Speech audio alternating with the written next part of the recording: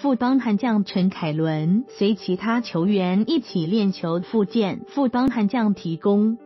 记者林佑晨新北报道，富邦悍将重训体能营迈入第二天，虽然报道的多半是年轻球员，但这几天也有不少中生代自愿报道一起练球。其中复健组的陈凯伦正从足底筋膜炎旧伤康复中，他说现在状况越来越好，起床时可以走路，是最开心的。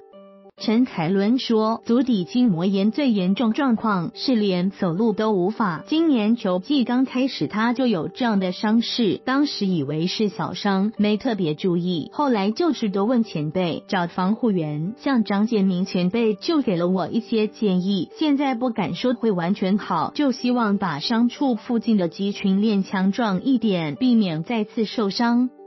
陈凯伦说，目前防护员和他说，因能够衔接到春训这阵子，他也都没休假，持续复健。之前有时候觉得脚不痛，就会想多练，但防护员说练过头反而容易受伤，还是得听他们的。